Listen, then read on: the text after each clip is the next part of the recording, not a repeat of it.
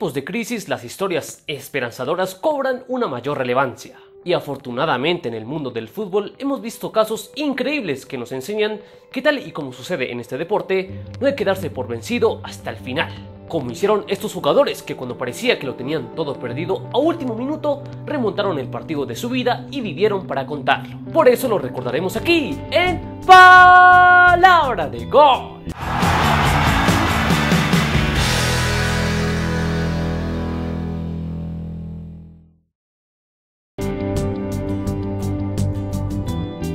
Famosa y mítica cantera del Ajax han salido todo tipo de campeones y figuras que se han ganado la admiración de todo el mundo, pero desafortunadamente el último de ellos que lo logró tuvo que hacerlo afuera de la cancha. Hablamos de Abdelak Nauri y su asombrosa historia de superación que conmovió al mundo del fútbol. Corría el año 2017 y el equipo neerlandés se medía en un amistoso de pretemporada contra el Wolfsburgo, encuentro donde el cuadro de Ámsterdam hacía gala de su nueva generación de jóvenes talentos, liderada por jugadores como Frenkie de Jong, Matisse de Ligt y el propio Abdelak. Sin embargo, la joven promesa de origen marroquí sufrió un paro cardíaco en pleno partido que lo obligó a desplomarse sobre el césped, situación que conmocionó a todos los presentes y que luego de ser atendido con urgencia empeoró, ya que los diagnósticos médicos confirmaron que Api, como le decían cariñosamente, había sufrido daños irreversibles en el cerebro,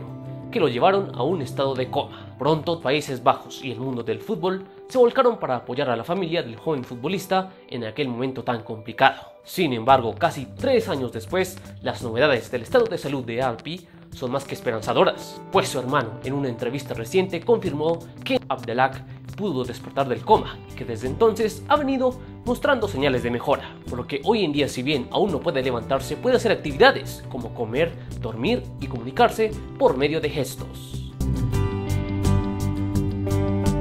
Otro jugador que sabe lo que es ganar el partido más difícil que puede tener un futbolista es Fabrice Muamba, que en 2012, cuando defendía los colores del Bolton Wanderers, sufrió un paro cardíaco en medio de un partido que lo enfrentaba al Tottenham Hotspur en la FA Cup. Cuando Muamba se desplomó en el césped de White Hart Lane, todo el estadio se quedó atónito ante el crítico estado del jugador congoleño, que al no responder a las señales de los médicos de inmediato fue llevado a un hospital. En el trayecto hasta el centro asistencial recibió hasta 12 descargas eléctricas de desfibrilador, una cantidad exagerada, pero que por su prontitud fue clave en la milagrosa recuperación del jugador, que prácticamente volvió a la vida luego de que su corazón se detuviera por 78 minutos. Afortunadamente, tan solo dos meses después, Muamba regresó a White Hart Lane para recibir un homenaje en el partido que enfrentaba al Bolton y el Tottenham por la Premier League. Desde entonces, a pesar de que el jugador tuvo que retirarse a los 24 años, hoy en día Muamba se mantiene activo, promoviendo la presencia de desfibriladores portátiles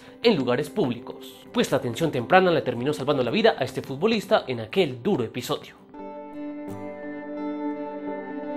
Los llamados de mi hermano fueron de verdad. Me decía que no me fuera y yo ingenuo le decía que viniera conmigo, pero decido pegar la vuelta en el túnel y me termino de despertar. Y ahí empiezo a ver las luces de la clínica. Esto es apenas un fragmento del increíble relato de supervivencia de Diego Grayev, jugador argentino que en 1999, jugando para Huracán, en un partido ante Banfield sufrió un duro choque de cabezas con Cristian Ruffini, que lo dejó inconsciente y le causó un paro cardiorrespiratorio que le detuvo el corazón por dos minutos. En medio del estupor, el jugador afortunadamente pudo ser atendido con prontitud por el médico del club Edgardo Locaso, quien le hizo respiración boca a boca. Y luego, junto al kinesiólogo Daniel Arias, lograron resucitarlo cuando ingresaban al sanatorio Mitre, donde Grayev terminó de ser atendido. Afortunadamente, luego de aquel susto, el jugador cordobés pudo continuar con su carrera con normalidad por varios años y hoy en día dirige una academia de scouting junto a su hermano, el mismo que aquel 30 de octubre del 99, cuando estaba tendido sobre el césped, le gritaba, Diego, no te vayas, no me abandones, quédate con nosotros.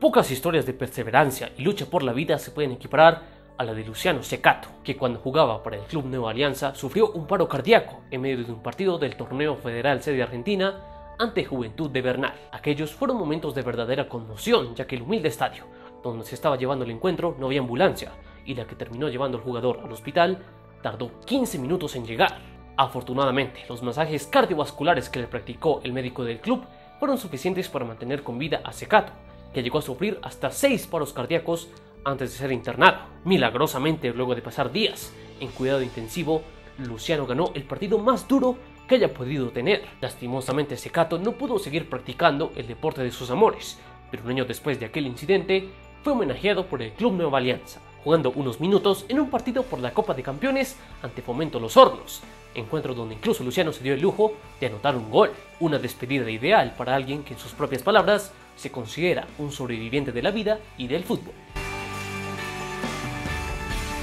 Y finalizamos con una historia en la que es imposible no quedarse admirado y conmovido. Se trata de Daniel Engelbrecht, cuyo amor por el fútbol traspasó todo tipo de límites. Luego de que en 2013 Daniel sufriera un paro cardíaco jugando para el Stuttgarter Kickers de la tercera división alemana, su vida no volvió a ser la misma, ya que si bien la atención rápida de los médicos lo salvó en aquella oportunidad, la miocarditis que le diagnosticaron puso en riesgo su prematura carrera deportiva. Sin embargo, el jugador alemán no se dio por vencido y se sometió hasta cuatro operaciones para seguir disfrutando de su pasión. Después de innumerables tratamientos y pruebas médicas, Daniel pudo volver a las canchas casi un año después de sufrir el infarto que puso en riesgo su vida. Pero para obtener el ok de los médicos, Daniel tuvo que jugar con un desfibrilador implantado en el pecho, de manera que el aparato registrara sus datos cardíacos y reaccionara en caso de detectar una anomalía. Y así fue como el día de su regreso, Daniel conmovió al mundo, ya que minutos después de haber ingresado desde el banquillo,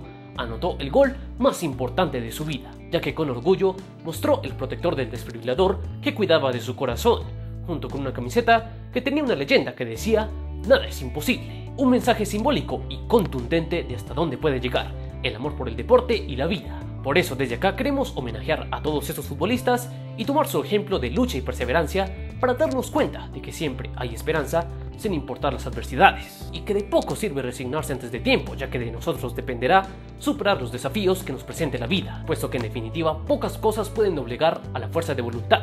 aquella que le permitió a estos futbolistas aferrarse a la vida, aun cuando parecía que su tiempo había terminado. Y con esta reflexión terminamos el video de hoy.